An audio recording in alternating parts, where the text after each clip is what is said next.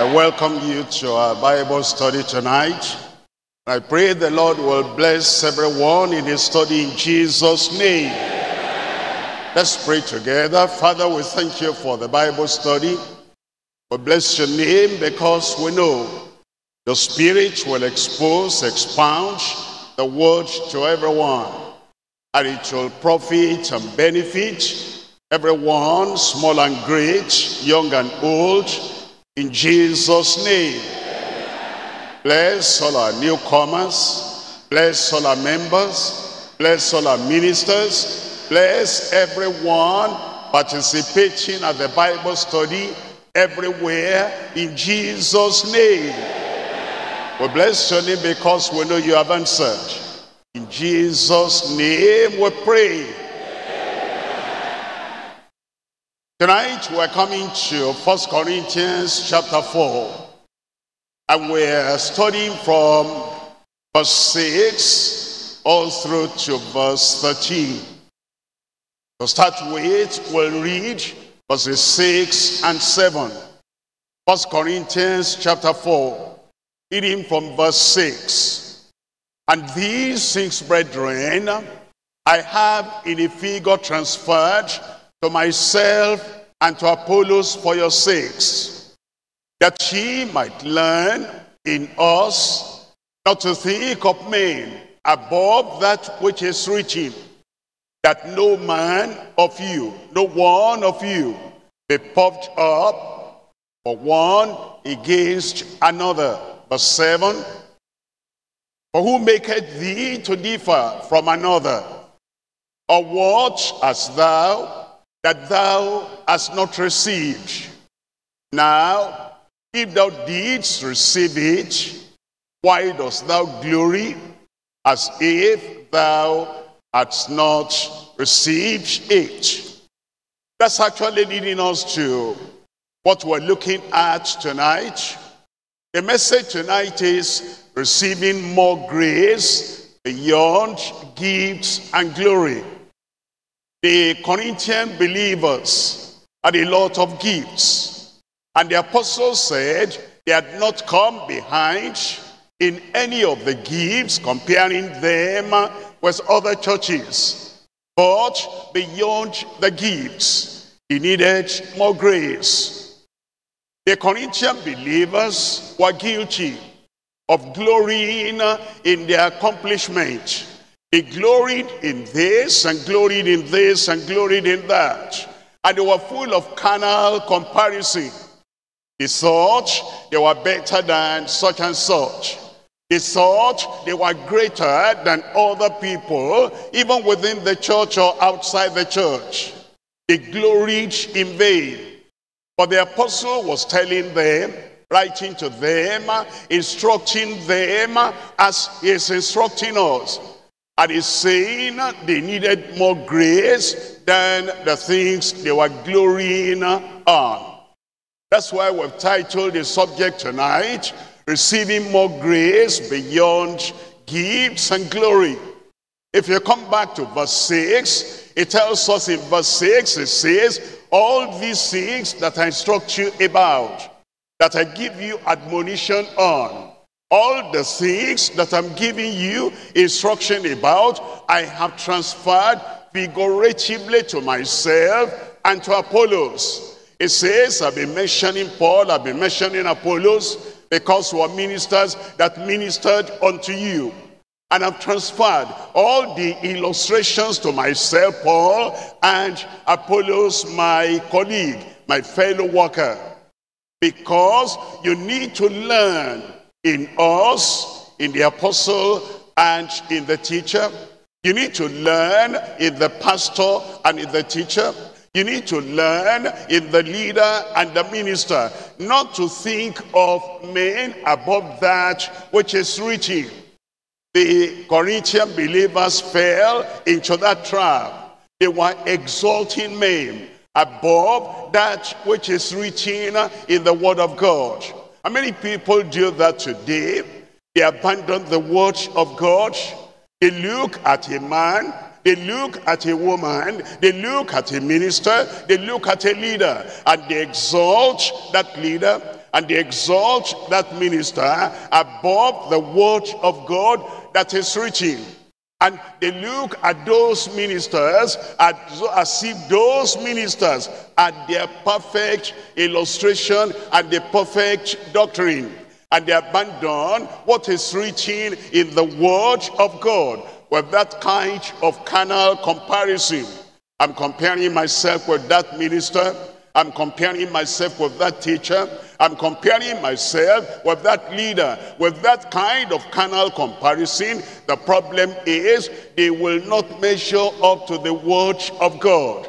They have exalted the man, they have exalted the minister above the word of God his illustrations, his um, commandment, his admonition is greater than what they can read in the word. And Paul the apostle as their teacher, Paul the apostle as their father was bringing them back to the word of God that they may learn learn in us not to think of any man, not to think of any minister, not to think of any preacher above that which is written that no one of you be puffed up for one against another.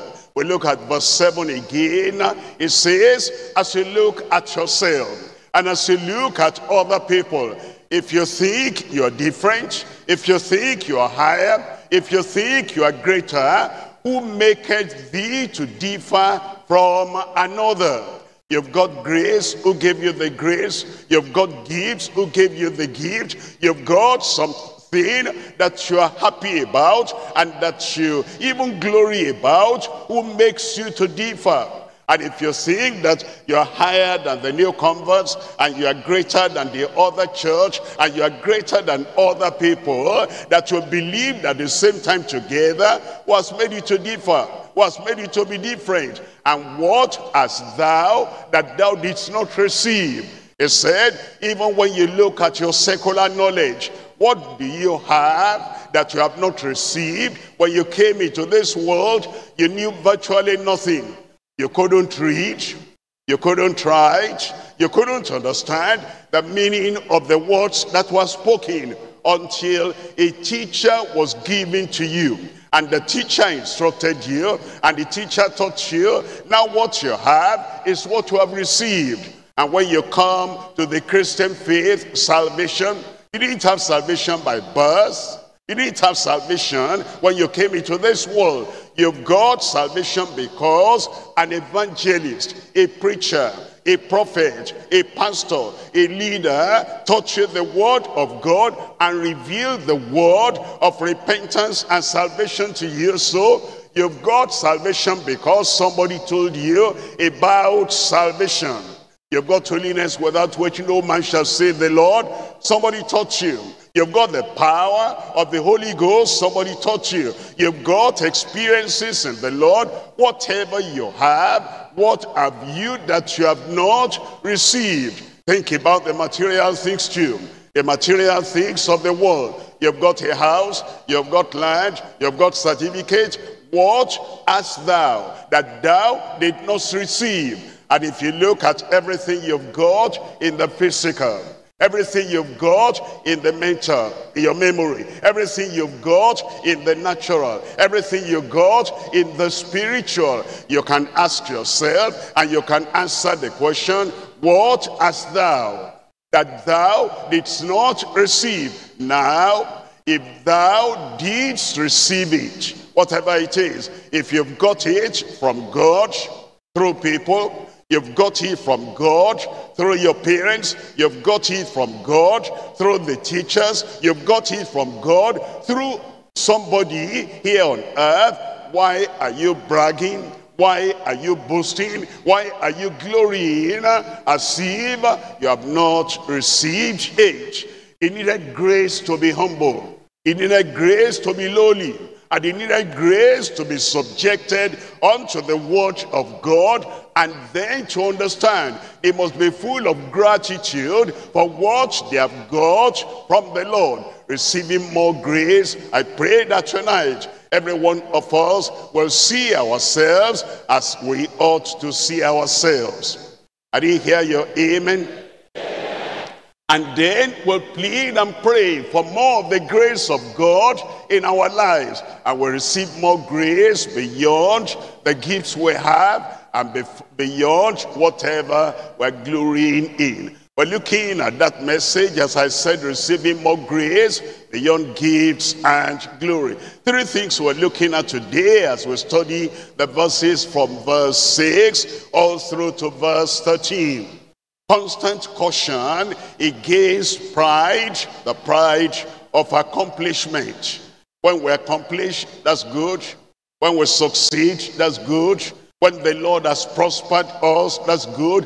When we have this or have that, that's very good. When we're making progress, either in the natural or in the spiritual, that's wonderful. That's called accomplishment. And we need constant caution against the pride of accomplishment. Number two, Corinthians conceit and presumption without abasement. The Corinthians did not know anything about humility, anything about lowliness, anything about meekness. They did not have the nature of the lowliness of Christ and the meekness of Christ and the gentleness of Christ. They were full of conceit. They were full of pride. They were full of self-exaltation. They were full of presumption. They were full of hypocrisy. And that is why we're looking at that second point. Um, the Corinthians concede and presumption without abasement. Number, two, number three, commendable commitment and the proof of apostleship. The apostles, they conducted themselves according to the word of God. Those apostles, even though they were preachers, they were people that practiced what they taught. They lived by the word. They walked by the word. They interacted by the word. They comported themselves and they conducted themselves by the word of the Lord.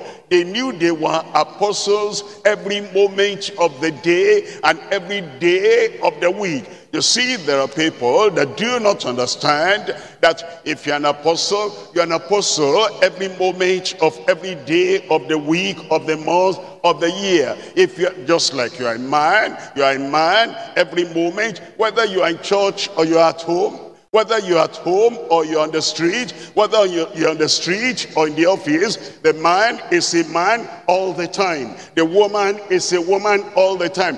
An apostle must have the demeanor and the character and the conduct and the attitude of the apostle every time. It's not only when we're preaching, it's not only when we're praying, it's not only when we're counseling, it's not, not only when we're trying to show other people the way to heaven, whether you are preaching or not, whether you're sitting or standing, whether you're in the church or at home, anywhere you are, there must be proof of apostleship. If you are an apostle, if you are a pastor, you are a pastor all the time. If you are a minister, the way you conduct yourself and the way you interact with people and the, whether it's private or public, the way you interact with people uh, who are on the opposite side, the way you interact with people. If you're a man, you interact with women. If you're a woman, you interact with men. Everything you do,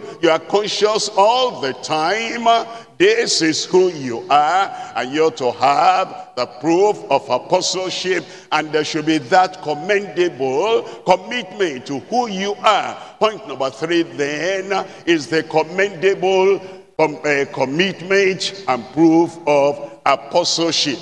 We're coming to point number one. In point number one, constant caution against the pride of accomplishment. We're coming to verses 6 and 7. First Corinthians chapter, chapter 4. We're reading from verse 6. And these six brethren, brothers and sisters, members of the body of Christ, these six brethren have I in a figure transferred to myself and to Apollos for your sakes. It says the reason he taught was for their sake. And the reason he used whatever method he was using in passing across the message of life and the message of scripture was for their sake. He said that he might learn in us. Every time we come before the word of God, we ought to learn. Something had to be added unto us. Knowledge, revelation, instruction, impartation has to be added unto us. If we come to the study and we learn nothing, if we come to the worship and we learn nothing, if we come to the revival hour and we learn nothing, and nothing is added unto us, we've wasted part of our lives. But it says, all days I'm teaching you, all days I'm instructing you, that you might learn in us, not to think of men above that which is reaching when you listen to the word of God, your response is not, what a great teacher. That's not your response. Your response is not, what a great knowledge the preacher has. That's not your response. You learn not to think of the men. You learn not to think of the ministers. You learn not to think of the preachers above that which is reaching and that no one of you no one of you, whatever your status and whatever your situation and whatever your experiences, that no one of you should be uh, popped up for one against another. Then he asked that question that we asked before, and that's in verse 7, For who maketh thee to differ from another, and what hast thou that thou didst not receive? Now if thou didst receive it, why dost thou glory as if thou hadst not received it? Three things we're looking at. Number one, condemnation and guilt for being puffed up.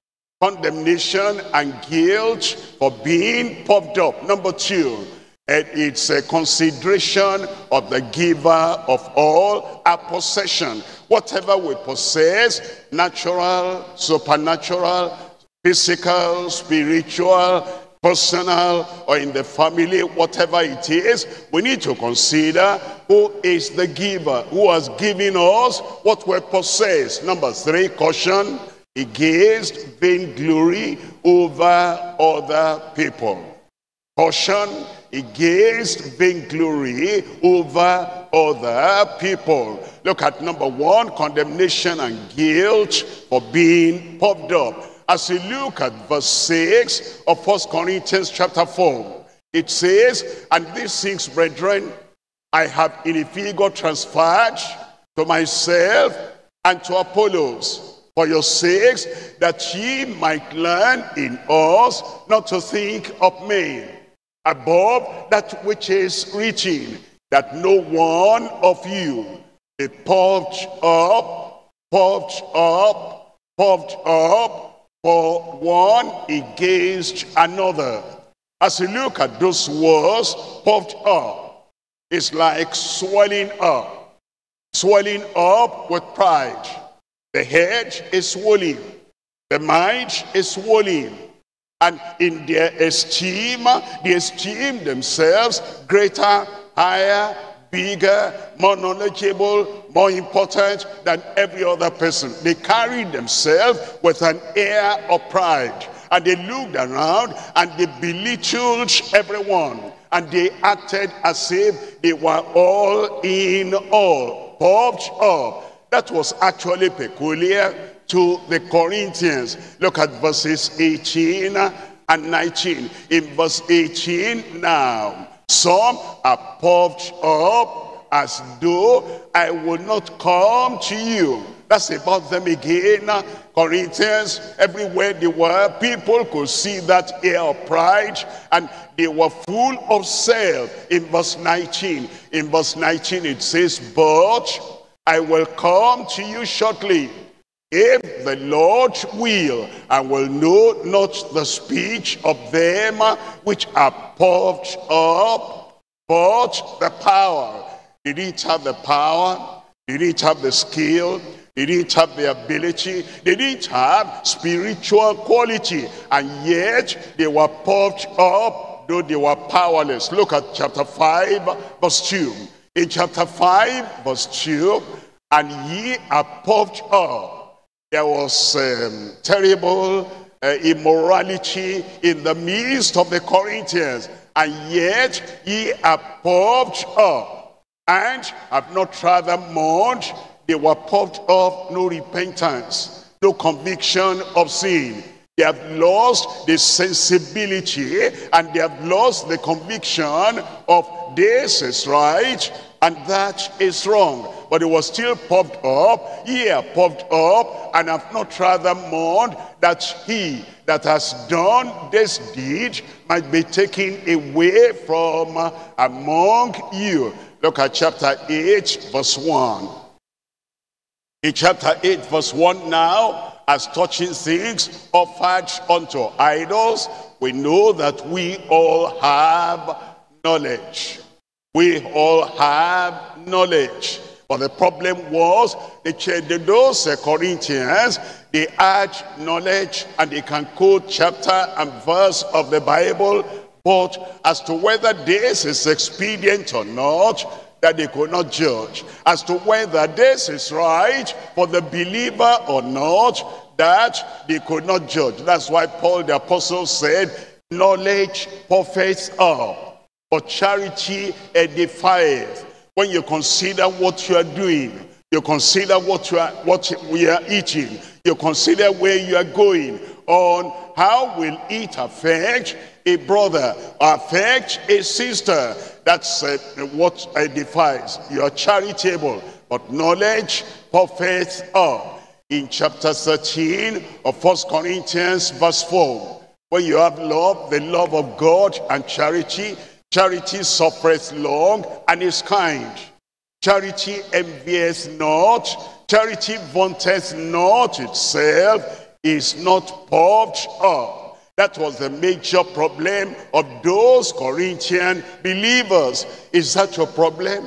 That you're always thinking of yourself, my good look, my beauty, my knowledge, my certificate, my experiences, my position, my authority, my power, my knowledge, puffed up the Lord is saying we need grace to be humble and then to jettison and to cast out everything that is of pride that makes anyone to be puffed up. Look at number two here. In number two, there's a consideration of the giver of all our possession. For us not to be puffed up, we'll consider who has given us what we have. Look at uh, 1 Corinthians chapter 4 verse 7. The first part, for who maketh thee to differ from another. You are saved, another one is not saved. Who makes you to differ? You have education, you've gone to college, you've been to university. The other person cannot read, cannot write. There's no reason to be proud. For who maketh thee to differ from another?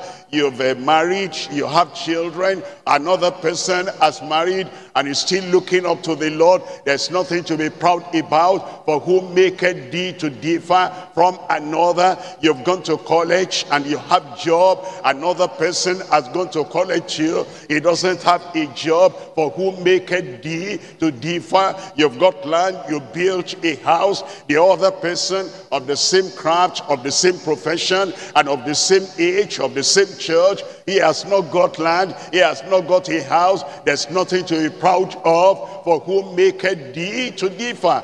Whatever you have got and the other people have not got and you're making canal comparison and then you're raising your shoulders and you're raising your eye, your eye, your face and you're raising your personality and then you're bragging everywhere. That's mine, that's mine. Uh, watch out, that's pride. For who make a thee to differ from another? And what hast thou that thou didst not receive? We need to consider who gave us our possession. We're reading from John chapter 3. In John chapter 3, reading from verse 27, it says, John answered uh, and said a man can receive nothing except it be given him from heaven. A man can receive nothing except it be given him from heaven. Always consider that. You think you have a good brain? I will thank God for the good brain.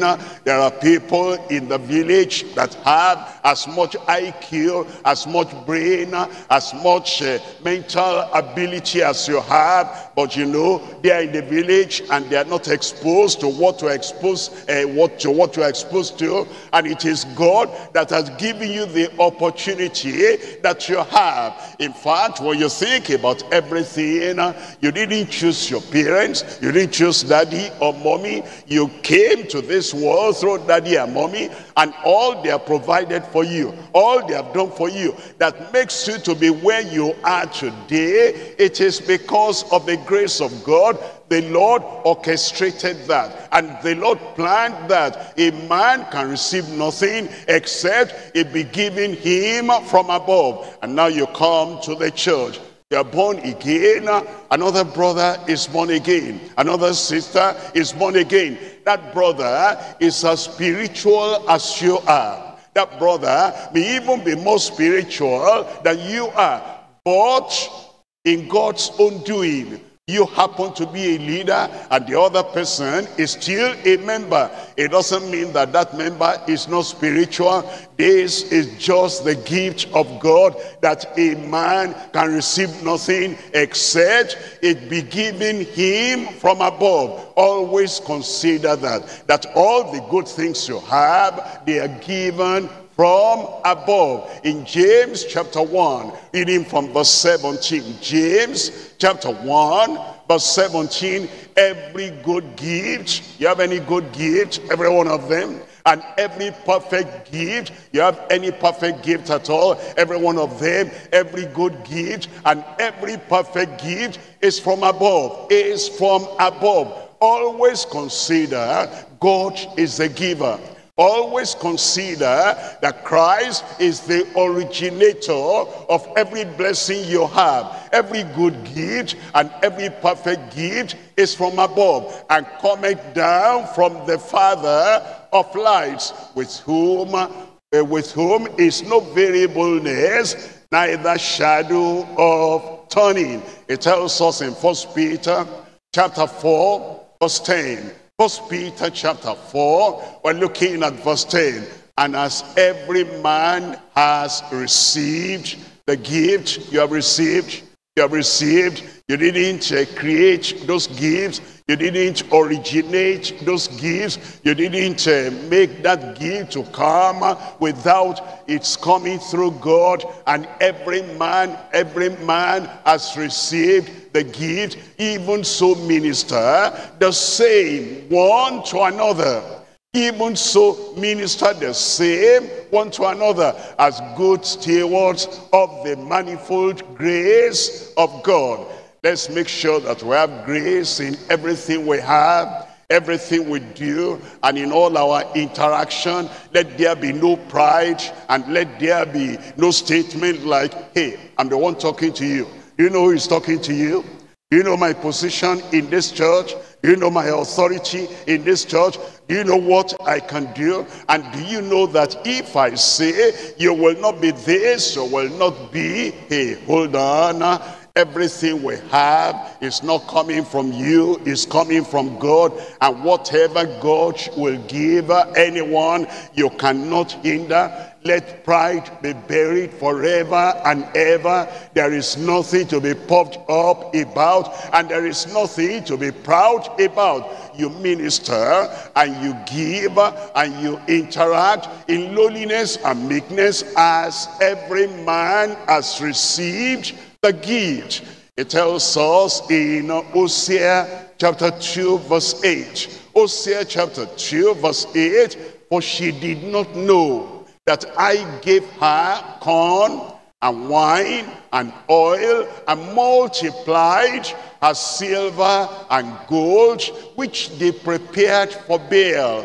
They did not know this is a gift coming from me. And because of that, they acted as if they were the originators of everything. Isaiah chapter 1 verse 3. In Isaiah chapter 1 verse 3, the ox knoweth his owner, and the ass his master's crib. But Israel does not know. As Israel did not know, the Corinthians did not know. As the Corinthians did not know, many Christians, so-called today, so-called Christians, they too, it's like they do not know that this gift and this grace and this possession and this skill and this ability and this opportunity, everything is coming from God. The ox knoweth not his owner, and the ass his master's green. But Israel does not know, my people does not consider. I pray the Lord will give every one of us the grace to consider the giver of all our possessions in Jesus' name. You can say better amen than that. Number three now is the caution against being vainglory over other people. The caution against vainglory above other people. We're looking at First Corinthians chapter 4 verse 7, the second part of verse 7. Now, if thou, if thou didst receive it, why dost thou glory?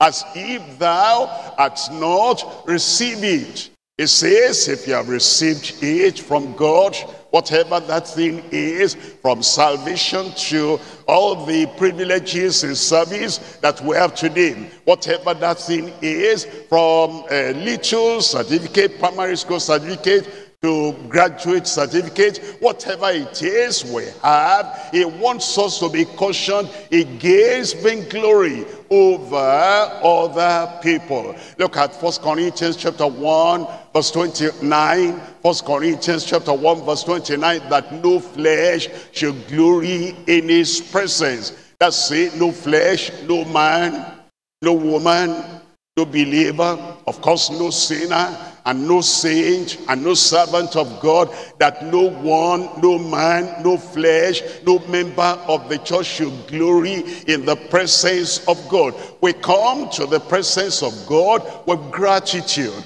See what God has given me. Like, like uh, Jacob, I married nothing uh, and I, I went through this uh, river having nothing but a staff in my hand. I come back now with two bands because of the provision and the possession I got from God. No flesh should glory in his presence. Even Paul the apostle saying, by the grace of God, I am what I am. I'm not even meet. I'm not suitable. I'm not fit to be an apostle because I persecuted the church, but by the grace of God, he called me. And by the grace of God, he gifted me. By the grace of God, he has given me the opportunity I have portion against vainglory over other people in chapter 3 of First Corinthians verse 21 First Corinthians chapter 3, verse 21, therefore, let no man glory in men.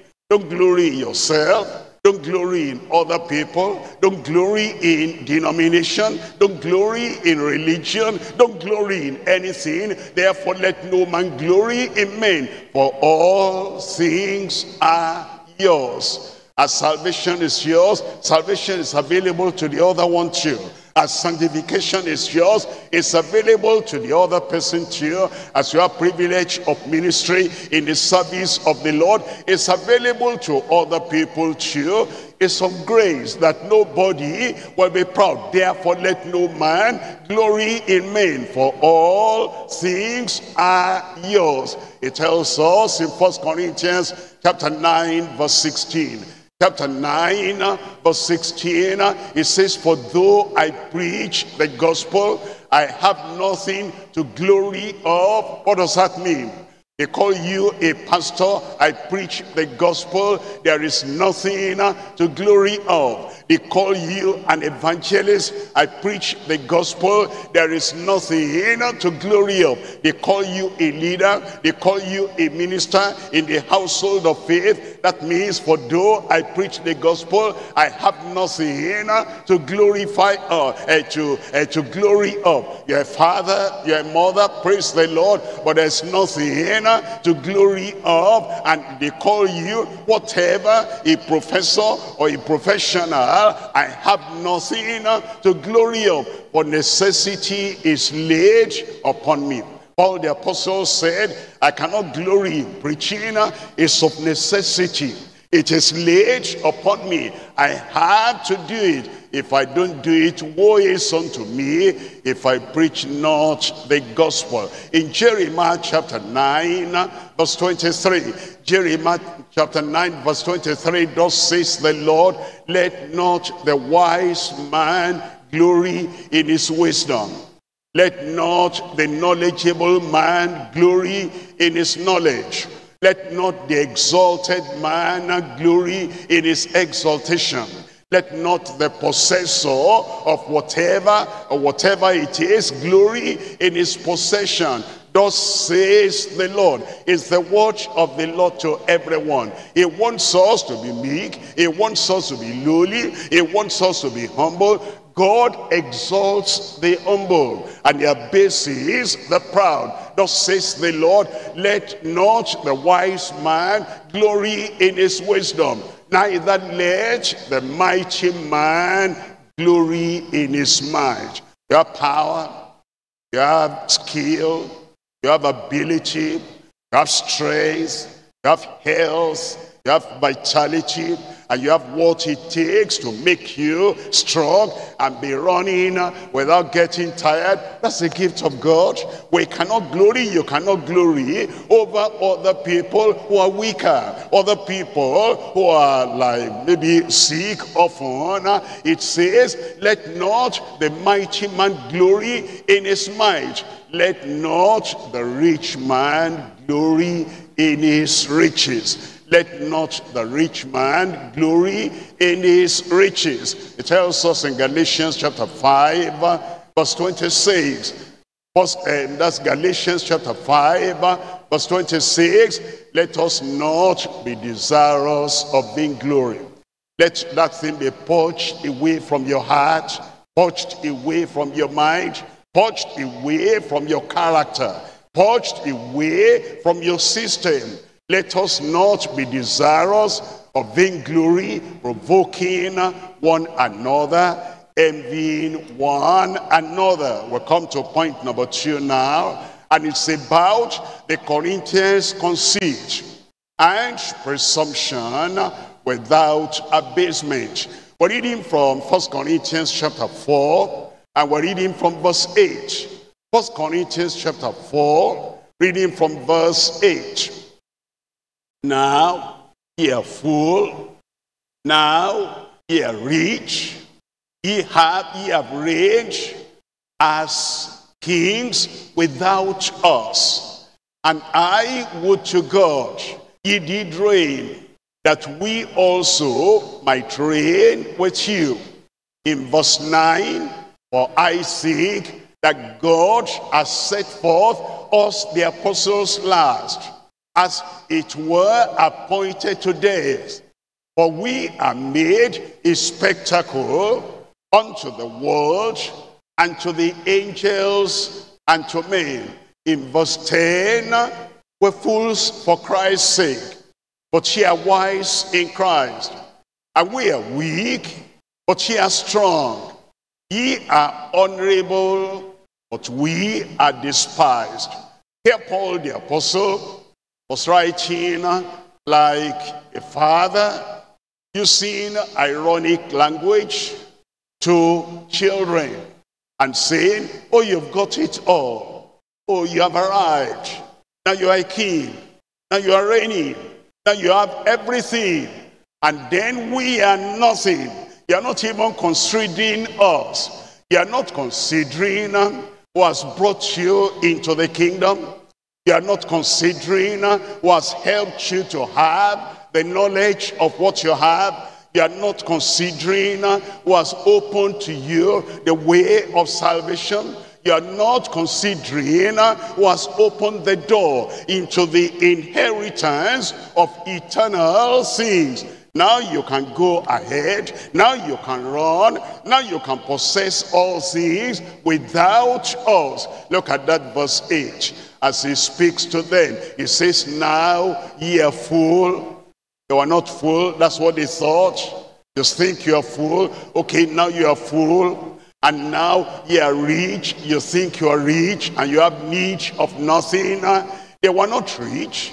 They didn't have everything they ought to have. They were like the Laodiceans who said, we're full, we're rich, and we have need of nothing. And yet they did not know that they were miserable, they were blind, they were poor, they were naked. And Christ had to counsel them to come from, to come down from that throne of pride and to come in humility in the sight of God so that they can have the real riches coming from heaven. It says he have as kings without us. What do you think about that? You've run ahead without the apostle. You've run ahead without the teacher. You've run ahead without the one that shows you the way to have everything you ought to have. And now you think you are reigning as kings without us.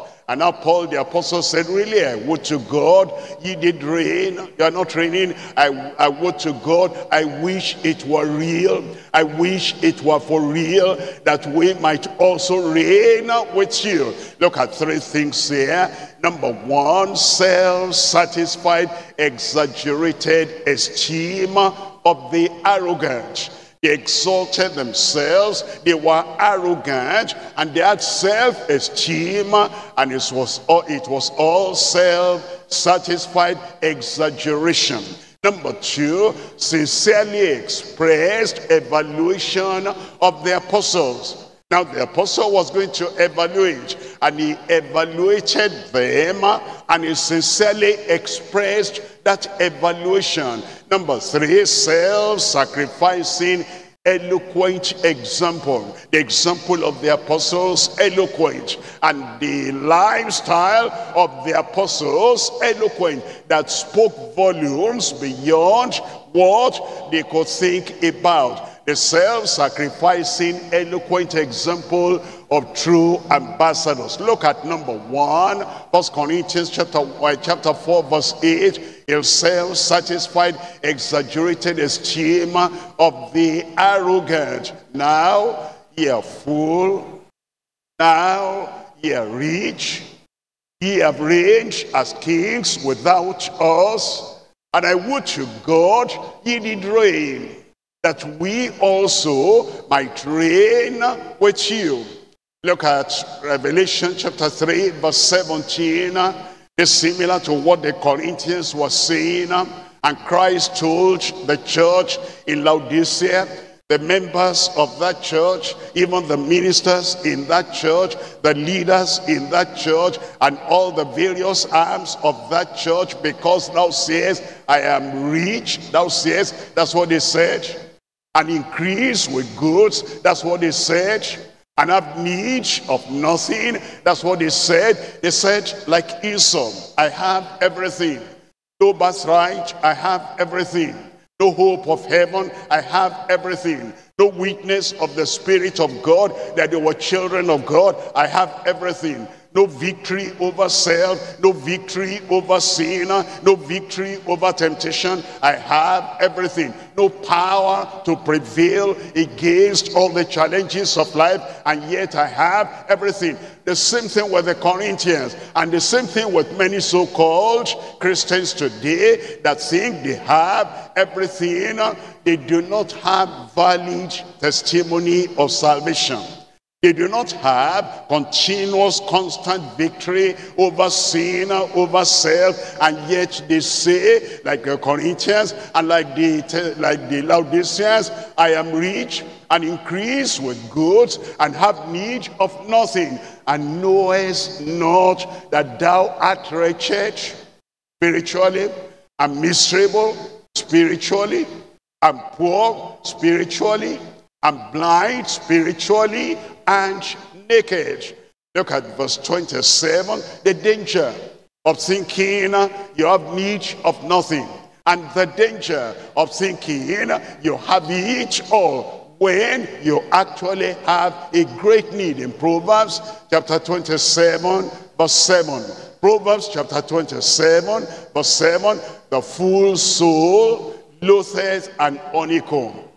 The full soul loatheth an honeycomb. What that means is somebody is full even when uh, he has taken junk, he has taken what is not nutritional, he has taken what is not actually providing strength and health for the body, but is filled up then he will lose the honeycomb. When you bring something nutritious, when you bring something uh, edifying, when you bring something that will build him up, he despises that because he thinks, I am full, I have no need of nothing. But to the hungry soul, every bitter thing is sweet. To the one who is hungry, he devours everything. He wants everything. He desires everything. The Lord is saying, we shall climb down from the, from the ivory tower of pride. Isaiah chapter 13, verse 11. In Isaiah chapter 13, verse 11, and I will punish the world for their evil and the wicked for their iniquity. I will cause the arrogancy of the proud to cease. Those who are proud, I don't need salvation. I don't need restoration. I don't need redemption. I don't need forgiveness. I don't need cleansing. I'm all right the way I am. I am a good member of the church. Everybody knows me. I'm better than so and so. I'm better than such and such. That's being arrogant. And the Lord said, I will cause the arrogancy of the proud to cease. And I will lay low the haughtiness of the terrible. In uh, First Samuel chapter 2 verse 3.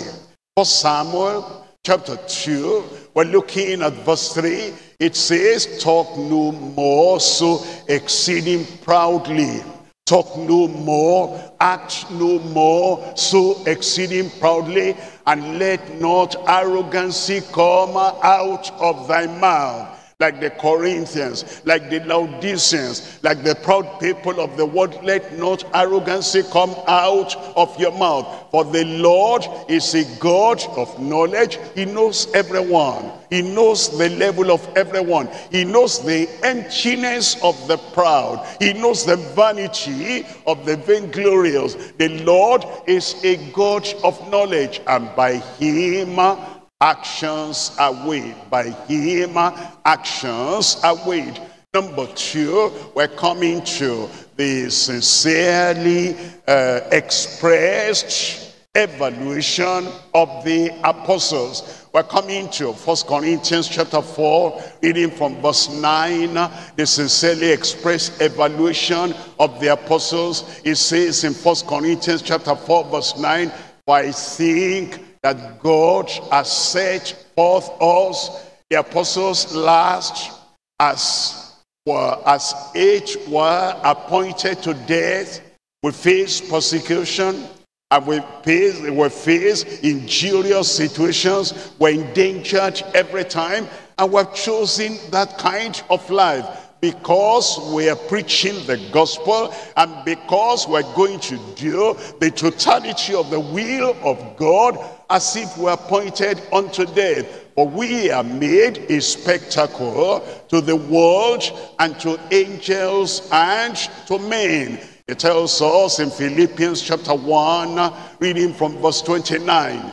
Philippians chapter 1, reading from verse 29. For unto you it is given on behalf of Christ, not only to believe on him, but also to suffer for his sake persecution, misunderstanding, oppression, whatever the world will do, whatever men will do, it's been appointed unto the believers as well as unto the apostles. In verse 30, verse 30 says, having the same conflict, the same uh, persecution, the same affliction, the same suffering, having the same conflict which ye saw in me, and now hear to be in me. He said, we go through everything, affliction, persecution, suffering and we do that voluntarily we do that cheerfully so that we will go through whatever is appointed by the Lord in First Thessalonians chapter 3 verse 3 First Thessalonians chapter 3 verse 3 that no man should be moved by these afflictions no man shall be jolted by these persecutions. No man shall be surprised by these oppressions coming upon the apostles as they were ministering, that no man shall be moved by these afflictions. For yourselves know that we are appointed thereunto. Verse 4, it tells us in verse 4, For verily, when we were with you, we told you before that we should suffer tribulation. That's not the great tribulation. We should suffer persecution. We should suffer affliction. We should suffer eh, from the negative actions of the people that do not believe eh, the totality of the gospel. We told you before that we should suffer tribulation even as it came to pass and ye know and now was you come to First Corinthians uh, chapter 4, reading there from verse 9. First Corinthians chapter 4 verse 9, it says, we're made spectacles spectacles unto the world, spectacles unto the angels, and spectacles unto men. That means that the world is watching. And the world is watching what we're going through. And they might say, if he is righteous, why is he suffering so much persecution?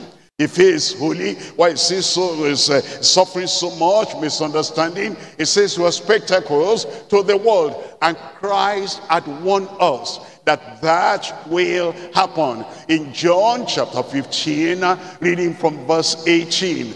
John chapter 15, verse 18. If the world hates you, you know that it hated me before it hated you. And then in verse 19, uh, it says, if he were of the world, the world would love his own. But because ye are not of the world, but I have chosen you out of the world, therefore the world hated you. The world is watching. And the world is running after us. It's not that they want to believe, they want to accept, they want to embrace everything we have. They want to persecute. They want to show their animosity. They want to show their hatred. They want to show their brutality and their cruelty. It says that's who we are. We apostles and we pastors and we preachers and we teachers of the gospel were exposed to the world and were spectacles before the world. Then it says even before angels. Look at First Peter chapter 1 verse 12. In First Peter chapter 1 reading from verse 12 unto whom it was revealed the angels were investigating the angels were searching. The angels were looking at the glory of Christ that will come and the suffering and the result of the suffering of Christ when Christ will die and redeem us from our sins unto whom it was revealed that not unto themselves but unto us they did minister the things which are now reported unto you by them that have preached the gospel unto you with the Holy Ghost sent down from heaven, which things the angels desire to look into.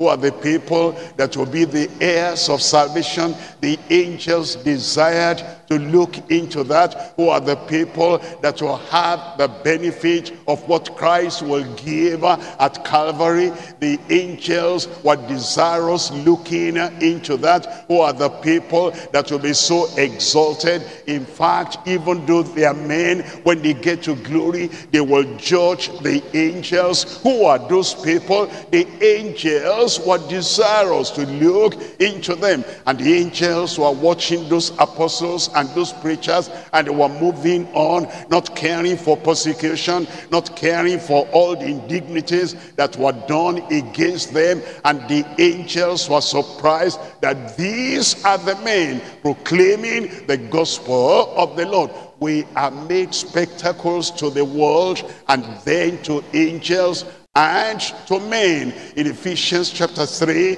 we're looking at verse 9. Ephesians chapter 3, verse 9, and to make all men see. The men are waiting. Those who are not saved, they are waiting for the word from us to get the word of salvation.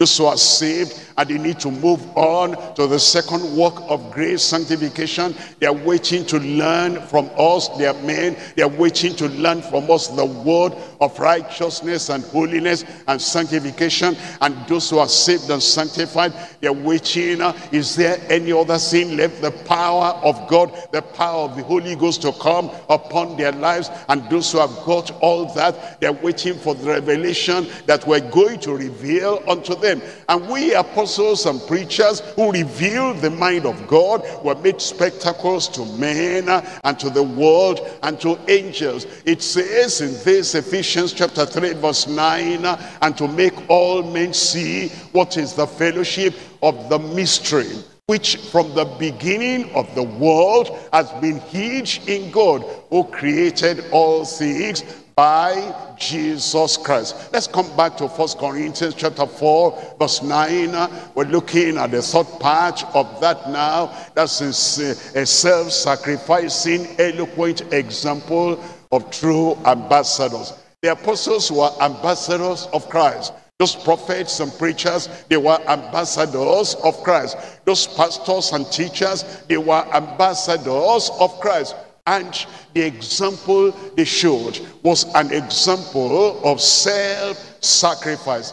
They didn't hold on to anything as so precious. They didn't hold on to anything as so important. They didn't hold on to anything as something so indispensable. If I don't have a car, I cannot live. If I don't have a house, I cannot live. If I don't have material things, I cannot survive. If I don't have, uh, you know, the respect of the people, appreciation of the people, I cannot be sustained in life. They didn't hold on to anything. They sacrificed everything. The self-sacrificing example of those true ambassadors. That's why Paul the apostle said concerning himself, concerning other apostles, concerning Apollos, concerning other ministers of God in First Corinthians chapter 4 verse 10, we are fools for Christ's sake. I was satisfied we're fools for Christ's sake and we're happy about that. We're fools for Christ's sake and we take pleasure in that. We're fools for Christ's sake. But ye are wise in Christ. We are weak, but ye are strong. Ye are honorable, but we are despised. He said, number one, we're fools. Number two, we're weak. Number three, we're despised. But that's our choice. And we decide we're going to follow Christ in spite of the persecution, in spite of being put down, in spite of being thrown away, in spite of being rejected, in spite of not being respected and honored. We have chosen that. We're fools for Christ's sake. What did he say? He was rejoicing in that. Look at First Corinthians chapter 1, verse 27. In First Corinthians chapter 1, verse 27, but Christ has chosen the foolish things of the world to confound the wise. He said that's why we're happy. If we were wise in ourselves, God will not choose us. If we were very much intelligent, too intelligent to be submissive unto God, the Lord will not choose us But he has chosen the foolish things of the world to confound the wise. And God has chosen the weak things of the world to confound the things which are mighty. If we were strong in ourselves, like you Corinthians are trying to be, and you're trying to uh, kind of flex your muscles and trying to show everybody how strong we are, how powerful we are, how mighty we are, God will not use you and God will not do anything good with you. He cannot use the people that are full of themselves. But the people who are weak, he has chosen the weak things of this world to confound the things that are mighty.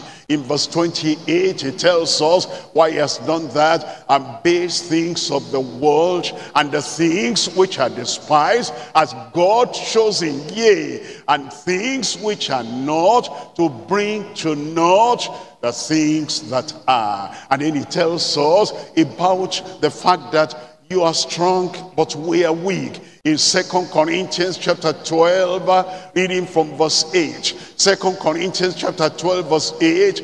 For this thing I besought the Lord thrice, that it might depart from me. And then in verse 9, the Lord said, And he said unto me, My grace is sufficient for thee, Remain foolish, my grace is sufficient for thee. Remain weak, my grace is sufficient for thee. Remain under that situation of being despised and rejected of men.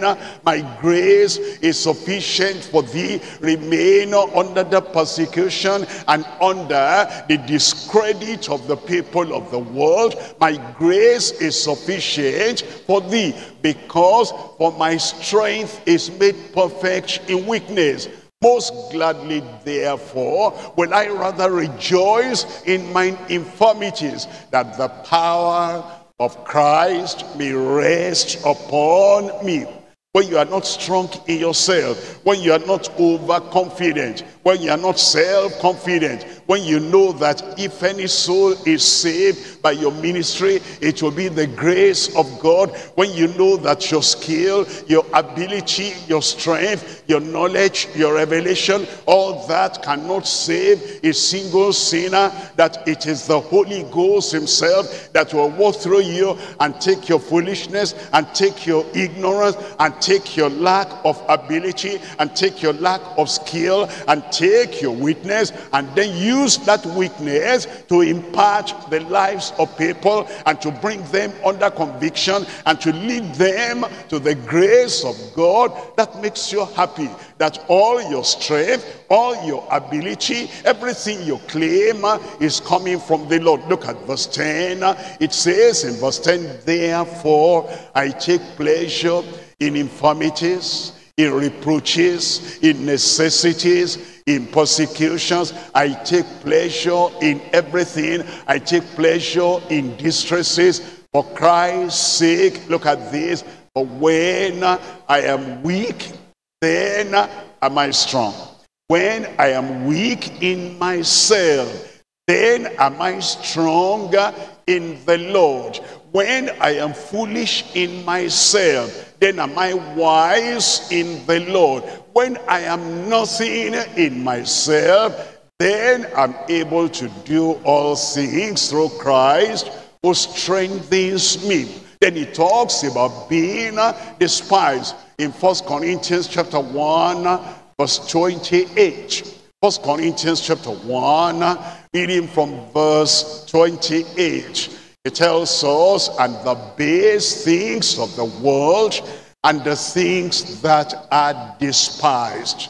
The things that are despised. You know, there are times I believe, um, and those who are familiar with you, like your siblings, brothers and sisters, of the same family, they will not say, is that, they will say, is that not my brother? Is that not my sister? Is that not so and so? That's how they despise, they despise Jesus Christ. When he came to Nazareth, where he was brought up, they said, is that not the carpenter's son? And because of that, they despised him. But is the Savior And none of those uh, brothers and sisters in the families, none of them became Savior. He is Redeemer, He is Lord, He is King, and is going to reign forever and ever in spite of the despising by the members of His family. Maybe you are like that. They say, I hear you are a pastor now. I hear you're a preacher now. I hear you're an evangelist now. I hear you're this and that now. And then they laugh. Eh, they remember when, what you were when you were in the secondary school and how you used to be together. And they never thought a person like you will be a preacher of the gospel and you are despised. But you know what God has done? The Lord has taken the base things of the world and the things that are despised has God chosen Yea, the things which are not to bring to naught the things that are. I pray God will make us to remain and abide under the great and the mighty hand of the Lord in Jesus' name. We're coming to point number three now, commendable commitment and the proof of apostleship.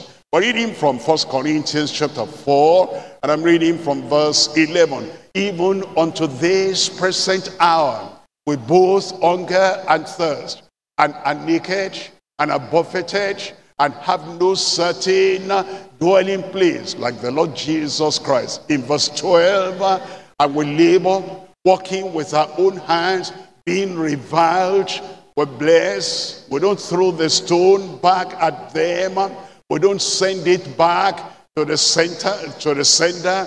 They revile us. We don't revile back. They use unprintable vocabulary against us. We don't take that same terrible word and throw it back to them. Being reviled, we bless.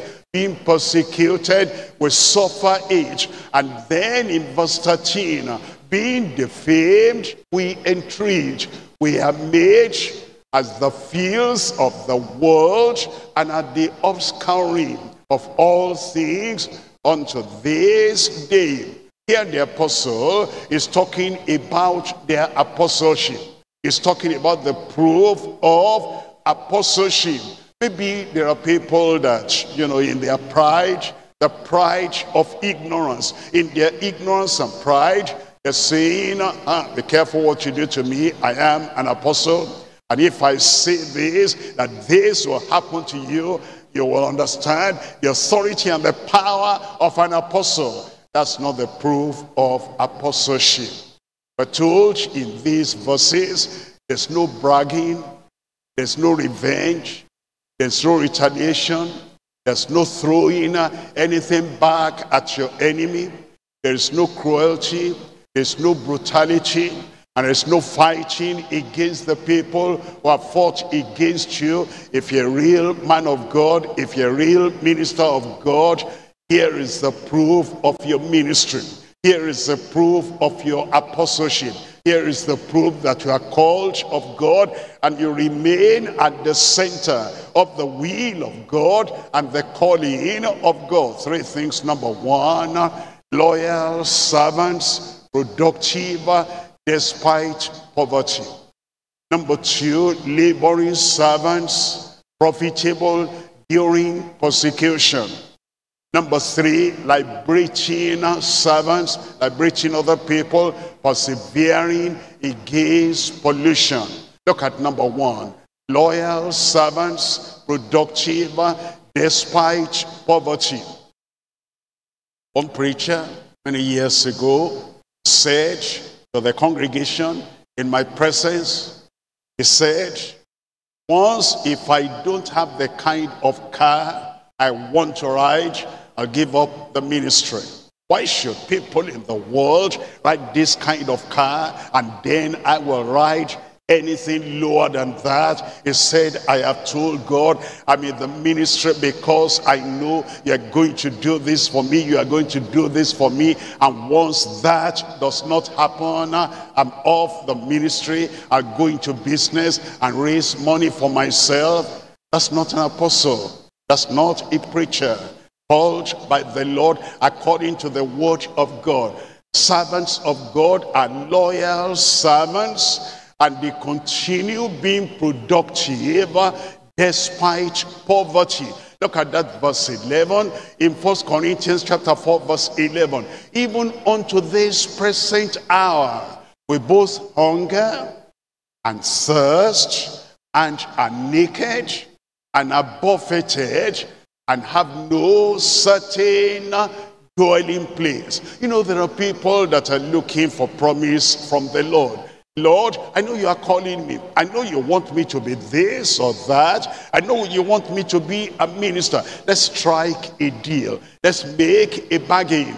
What are you going to give me? What am I going to become? If I'm going to become this, this, and that, then I will. The Lord is not going to respond to such people. The apostle said to this present hour, to this present moment is the great apostle that God showed great revelation to that has brought the word of salvation and the word of holiness and the word of righteousness and the unsearchable riches of Christ is brought that to the church and is brought this redemption to the people of the world. And he said, we're willing to be hungry and we're willing to be thirsty and we're willing not to have all the clothes we ought to have and we're willing not to have even accommodation of our own, a certain dwelling place, but we'll still keep on serving the Lord.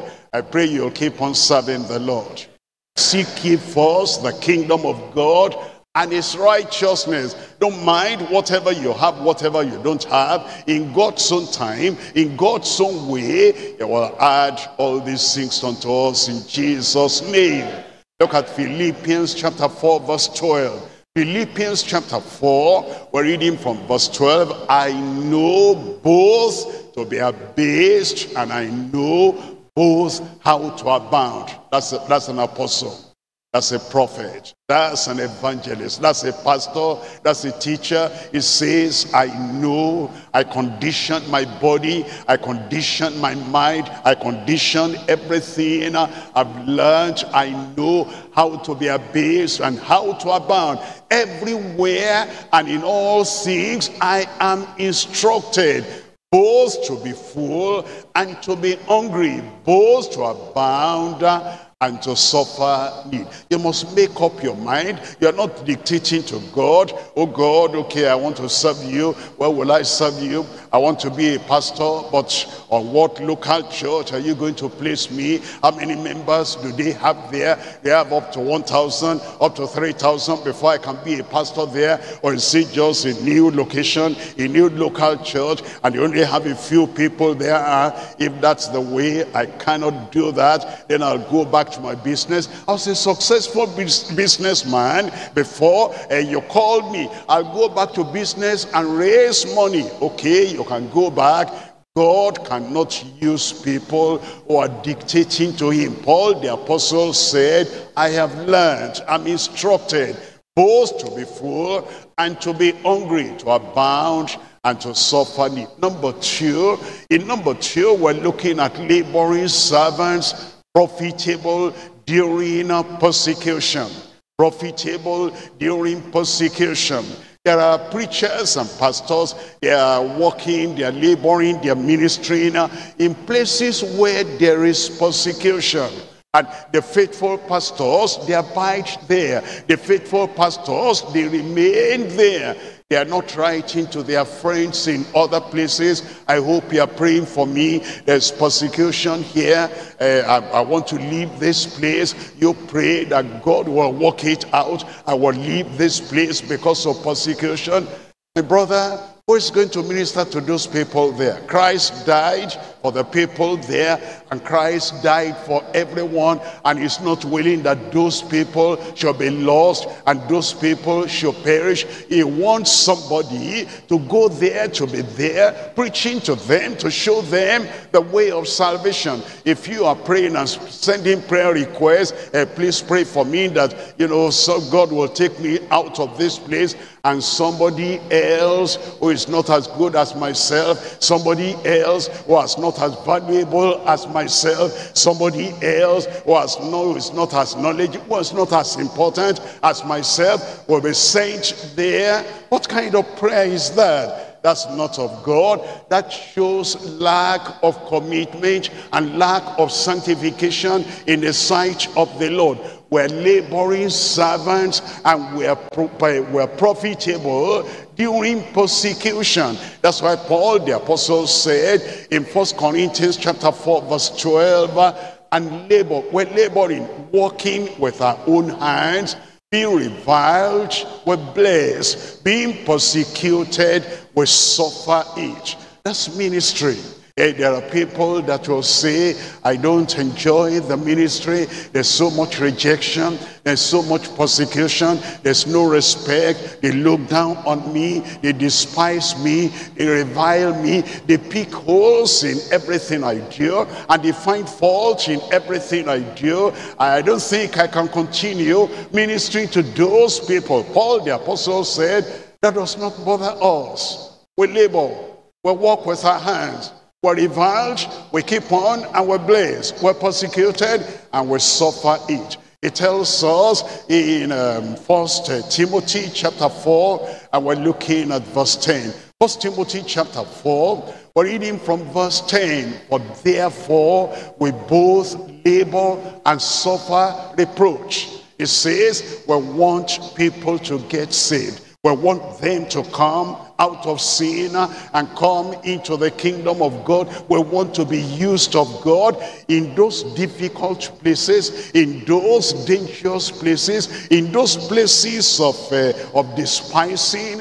They don't appreciate preachers. They feel that uh, preachers are those who have nothing else to do. They are failed in business. They are failed in the academics. That's why they're coming to preach. They say all, all sorts of things against preachers. We hear Yet will remain and will abide because without the preaching of the gospel, how will they be saved? That's why we both labor and suffer reproach because we trust in the living God who is the savior of all men, especially those that believe. Look at number three now. Number three is the liberating servants uh, by persevering against pollution. They were liberating others, were helping others to come out of defilement, out of degradation, and we're helping them to come out of pollution so that they can be pardoned, they can be forgiven, salvation can be theirs. Although they count us, they defame us, and they insult us, and they, they disgrace us, all the same, they cannot run us away from the ministry. It is those who are afraid of suffering, those who are afraid of rejection, those who are afraid of persecution that run away from the ministry. And it's not only from the ministry. There are people that run away from their teaching profession in their school because, you know, the, the children, the students are unteachable, they are unruly, and we cannot manage them. I cannot, you know, suffer all that. I cannot have heart attack because of teaching, uh, you know, those children. They run away from the teaching profession. There are people that run away from the medical profession. There are people that run away from every any other thing they're doing because they cannot bear the heat of the day. But the apostle said in First Corinthians chapter 4 verse 13, being defamed, we entreat. We're made the field as the field of the world. It lies against us. And, uh, you know, in the early church, those uh, unbelievers, uh, they will say, those uh, people who say they are Christians, they are cannibals. Because of the Lord's Supper, they accuse them of eating the flesh of Christ and of drinking the blood of Christ. They said a lot of things against them. They said they were not social people. They were not friendly people. They will not eat the sacrifices of those idol worshippers. They reject everybody. They are the holy, holy people. They think they are better than everybody else. They cast aspersions on them and they made them the fields of the world. It's like, and then the offscouring of all things. You understand that word offscouring? When you have cooked and then what you have cooked is a burnt under, is burnt in the in the bowl that uh, you used in cooking. And then you take something to scrape that uh, bottom of uh, the container, what you bring down there, that's the offscouring. That's what they called those apostles. They said, they're riffraffs, they're useless people, they are dirty people, they don't fit into anywhere. In fact, I cannot even take them to be a servant in my house. I cannot take them to be a, a worker in my own profession, in my area. They look down so much on them. And Paul the apostle said, that's all right, that's all right you don't respect us, God appreciates us, heaven appreciates us, and the angels of God, they're even envious about us, and we know that we're going to have a greater crown and stars in our crown. We're turning many to righteousness. That's not your stop, that's not your deal. You don't appreciate that, but we know what we're doing, and we know where we're going. And because of that, they did everything they did joyfully. I pray you'll be joyful in the service of the Lord in Jesus' name. Being defamed, we entreat.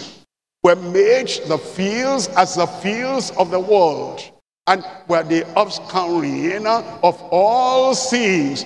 Now, I've already told you, we don't throw back all the arrows that people throw at us. Uh, look at First Kings chapter 13, verse 6. First Kings chapter 13 verse 6 it tells us about this man of God and the king answered and said unto the man of God entreat now the face of the Lord thy God and pray for me that my hand may be restored me again what had happened is the man of God prophesied and then that king said take hold of him and his hand dried up there are some religious people today, they say that's good for him. You'll know we're real prophets of God. You'll know we're real servants of God. And then they'll walk away and they'll pray, oh God, let that hand remain dry until he dies. Then they will know who we are. But you know, and the man of God besought the Lord and the king's hand was restored him again and became as it was before. Being defamed, we entreat. They were helping and they were praying for and they were lifting up the people that persecuted them. And look at Lamentation chapter 3, we're reading from verse 45. Lamentation chapter 3, verse 45 Thou hast made us as the offscouring and the refuse in the, in the midst of the people. And then in verse 46, it says, and our enemies have opened their mouths against us. That's what Paul the apostle was saying. The persecutors and the enemies of the gospel they have opened their mouths to insult those men of God. Look at verse 52. In verse 52, it tells us the attitude of those enemies, my enemies, chased me so like a bird without cause.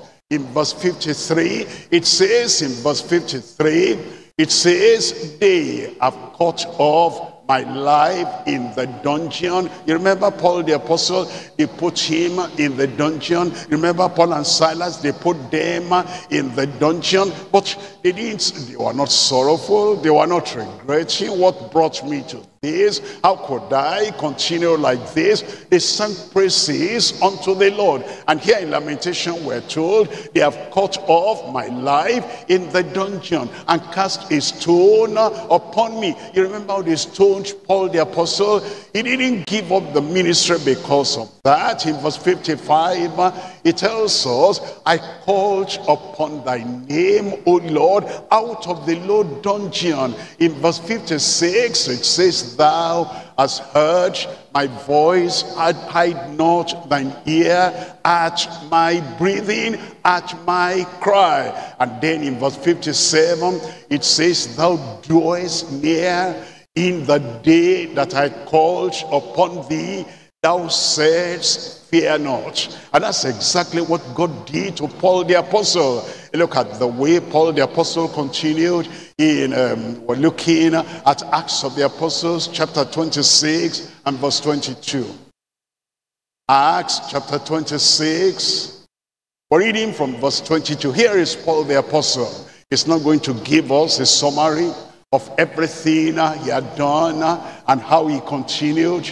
And he continued being profitable and he continued progressing and he continued persevering and he did not mind all the persecution, all the assault, all the insult and all the affliction. He continued in the things of the Lord and in the way of the Lord. And he's giving that as an eloquent example unto us. And he's giving us exhortation by that example. Uh, what has happened to you? That happened to me too. What are you facing? I face that too. What pressure do you have? I had that pressure too. And what difficulty difficulties and dangers have you gone through? I've gone that through too, but I continue and you will continue. I said you will continue. Give me a good deeper life. Amen. Look at your Bible now, Acts chapter 26. We're looking at verse 22.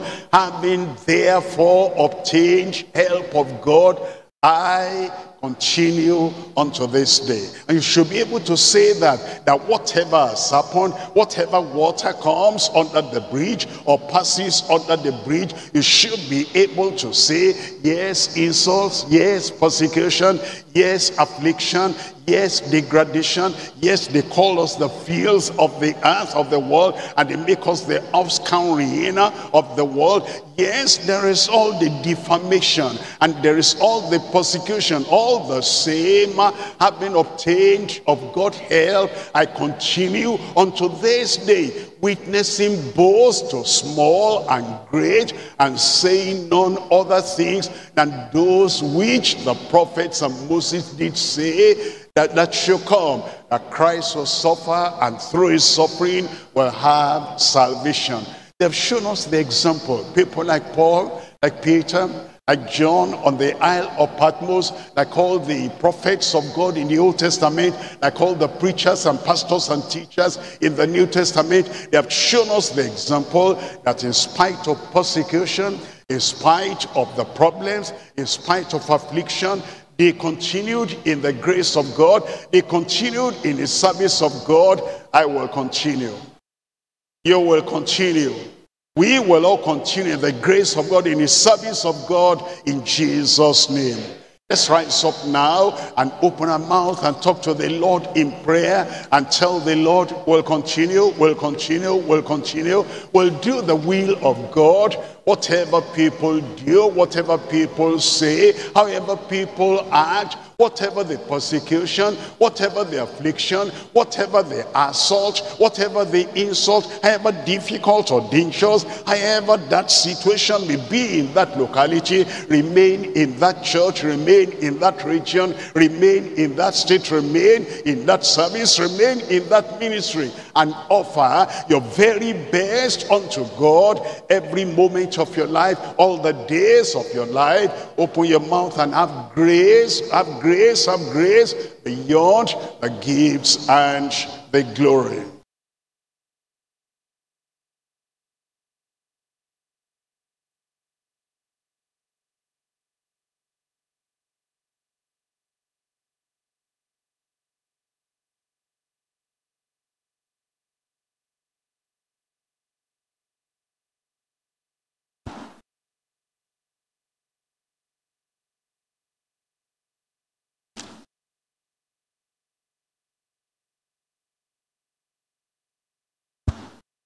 We've listened to the word of God tonight, and it is very revealing, expository, challenging, and probing. And if we should examine our lives in the light of the word of God, and we have seen whatever areas that we have picked up the nuggets of gold in the word of God, And we have seen those areas in our lives that we need to make amends. How I pray that the grace of God will grant unto us the humility to come before the cross and to ask God for grace in this hour of need.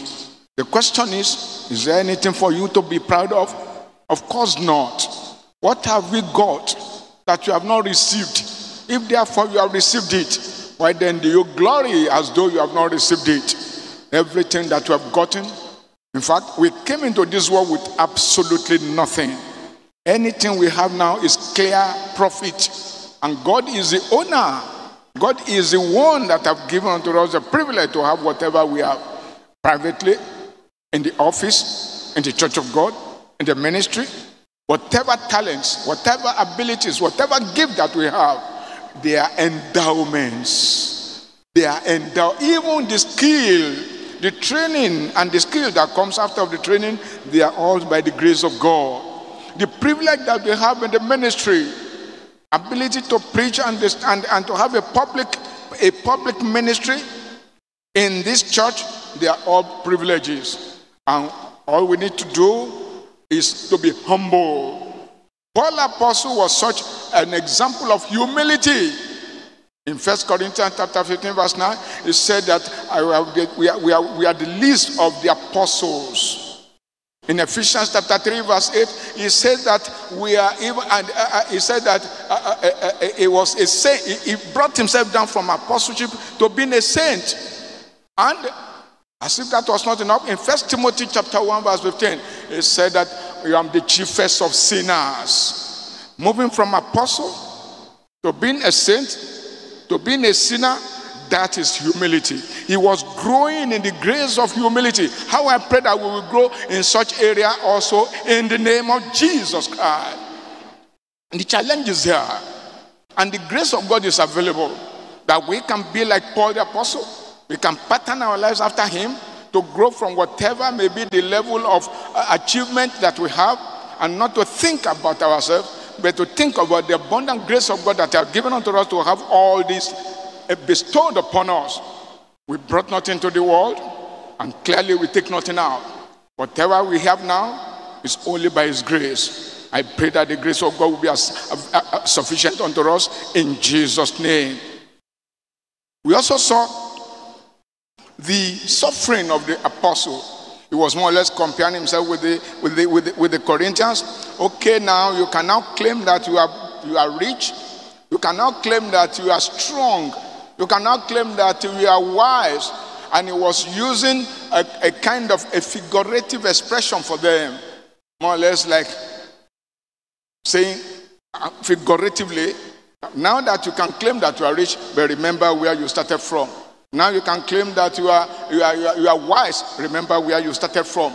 All this wisdom, all this additional accretion into whatever you have done, abilities and gift, whatever, remember who gave them to you. Now we are ready to even submit ourselves, subsume ourselves under you. That was what Paul Apostle was telling them. And that was why we should also look at whatever we have. There's nothing to compare about. The grace of God should be enough, for us, in the, as we have seen in the life of Paul Apostle, to know that whatever we are, we are what we are by His grace of God. First Corinthians chapter 15, verse 10 say, I am what I am by the grace of God. From being an apostle, I am what I am by the grace of God. Am I a teacher of the gospel? I am what I am by the grace of God. I am, am I an apostle or am I a preacher? Am I an evangelist? I am what I am by the grace of God. And that grace of God was sufficient unto him to the extent that he even suffered. He suffered. He said in Second Corinthians chapter 11 from verse 23, Are they ministers? Yes, I am. Are they apostles? Yes, I am. Are they, are they, are they, are they, are they preachers? Yes, I am. Are they Hebrews? He now wondered. It appears I'm get I'm boasting more than anyone. So I am. In fastings often, in perils of water, in perils of the sea, in perils of fellow countrymen. Thrice he received 39 stripes, five times, three times or five times he was shipwrecked in, in, in, in the night in, in, in hunger and thirst, yet he labored. And as if those things were not enough, the administration of the churches. He said that apart from those things that I suffered, I still had to oversee the churches. Who is weak? Then I'm not weak. Who is offended? Then I burn not. That was Paul the Apostle. The example, the, the iron constitution and uncommon consecration of Paul Apostle, that is the example. When you claim this deeper life, I don't know. The question you should ask yourself is to whom does our Father in the Lord pattern his life after? Everybody will agree with me, it is Paul the Apostle. Then why are we complaining?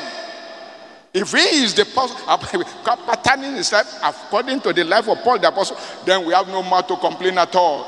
The grace of God is sufficient. We only need to ask for the grace of God, and we give us that grace abundantly as we ask in the name of Jesus Christ. And the grace of God is unfathomable and un, un, un, inexhaustible. However much of grace you take, you can never exhaust it. Why not go now to the throne of mercy, to the throne of grace, to ask, uh, to the, ask for this grace in this hour of prayer? And God will grant unto us in the name of Jesus Christ. This, by the grace of God, I said it, is a cut above others. The ministry called Deeper Life is a cut above others. And when you come into any club or association, you must know the rules and regulations. You must know what they stand for. We stand, by the grace of God, for the commitment and consecration to the gospel of the Lord Jesus Christ. And at the level at which any of us is operating, we should recognize is, there is a, a, a level we can even climb higher. And in conviction, in commitment, in consecration, in service to the Lord, without batting an eyelid. The grace of God is sufficient. He will see us through. I say, He will see us through. God will see us through in the name of Jesus Christ. And whatever you are, whatever may be the heat of the day you are uh, uh, uh, facing in the ministry, I can tell you what? Wipe your tears. The, the cloud will clear and the brightness of the glory of God will shine back into your life in the name of Jesus Christ. I said it will shine back into your life in Jesus' name. Let us call upon the name of the Lord. Open your mouth and pray. The grace of God. That's all we need. Whatever comes, whatever go, whatever goes, we need the grace of God. And this grace of God is abundant. This God is unfathomable. This God is inexhaustible. And it is available tonight. When you call yourself a deeper life, you must have the registered stamp on your, on your on, on, of conviction on you. Deeper life, a cut above others, a cut above others, a cut above others.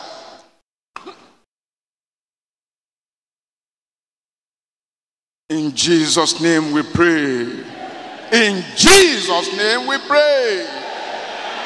We are going to tell the Lord, you can look up in faith unto God now and ask Him, God, the grace you granted unto Paul Apostle, grant unto me, O Lord, in Jesus' name. And He will do it. I tell you, He will do it.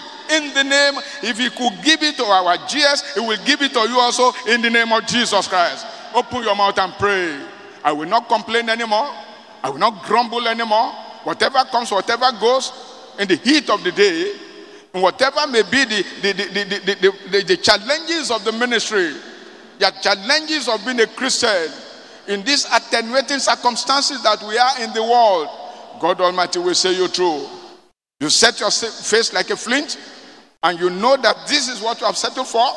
And we are talking about deeper life convictions deeper life convictions in the name of Jesus Christ.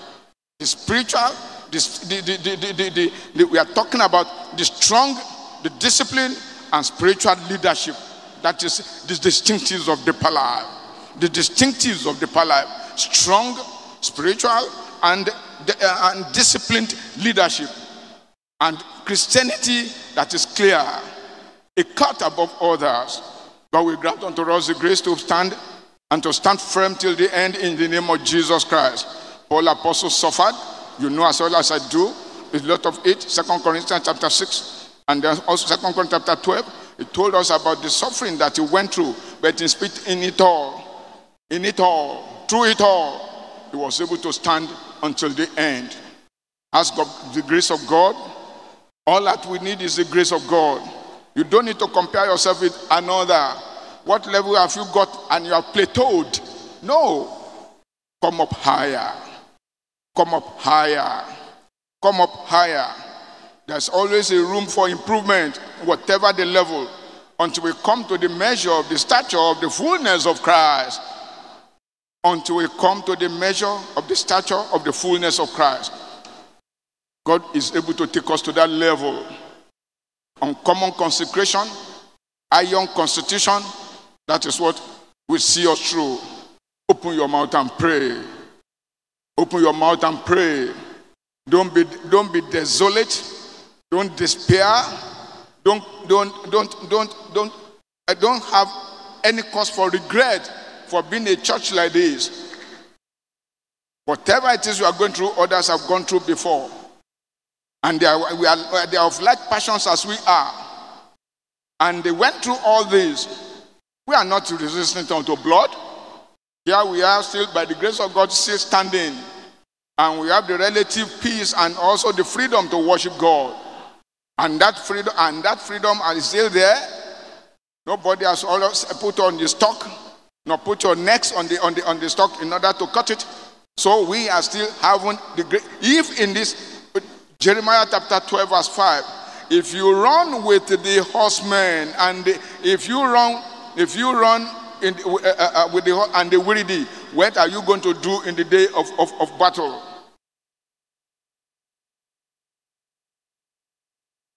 Open your mouth and pray. If you run with the footmen and the weary day, when are you going to, what then will you happen when the conditions are tougher? This is the day we can serve the Lord.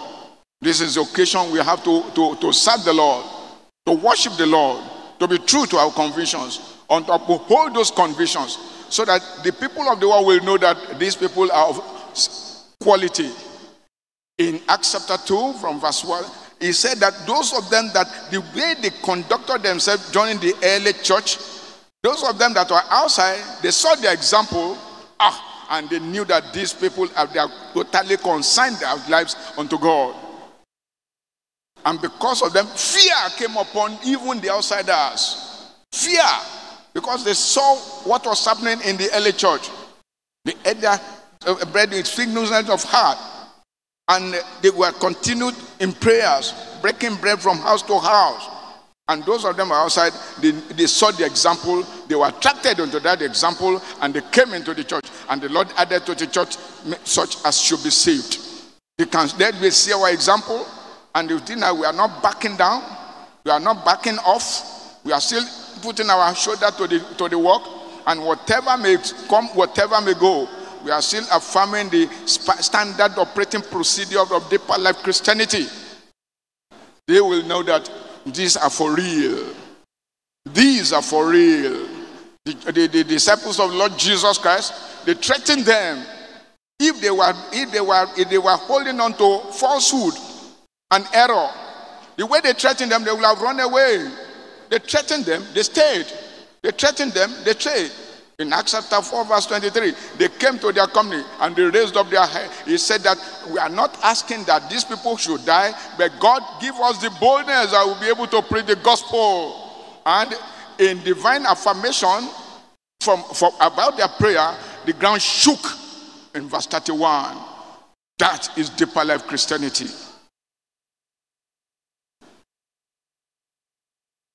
In Jesus' name we pray. In Jesus' name we pray. Heavenly Father, we thank you for tonight.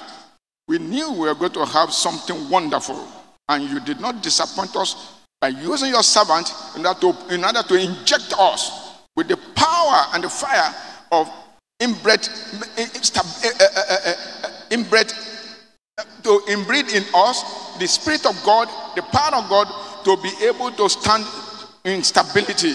I pray, Lord God, in heaven, that spiritual stability will continue to inculcate in our lives in Jesus' name. An automatic stabilizing power of God grant unto us in Jesus' name. Natural, uh, shock, natural uh, uh, shock absorbers, absor- spiritual shock absorbers to absorb whatever is coming from the world. Grant unto every one of us in the name of Jesus Christ. So that whatever comes, whatever goes, we know that we are set our places like flint. We are focused on heaven and at no distraction or meandering will take us from the path of glory in the name of Jesus Christ. And many of us, as our ministers of the gospel, by your grace, I pray that the Spirit of God will come to well up in every one of us to know the, the, the commitment that is necessary in this hour of need in Jesus' name. I pray that the grace of God be sufficient unto every one of us in Jesus' name. The power of God will rest upon us in Jesus' name. The glory of God will shine upon us in Jesus' name. The mercy of God will flow into our lives in Jesus' name. The Spirit of God will abide with us all the days of our lives in Jesus' name. We want to thank you, Father King of glory, O Lord. We pray that as we go now, your presence will go with us. Your spirit will go with us. We are taking, oh Lord, a, a, a, a, strength and commission from the headquarters. When we go to our various locations, Father, that strength will not be watered down in Jesus' name. I will not be watered down in the name of Jesus Christ. And the power of God will come to rest upon every one of us all the days of our lives in the name of Jesus Christ. We thank you, Father, King of glory, O Lord. Blessed be thy name. In Jesus' name we pray.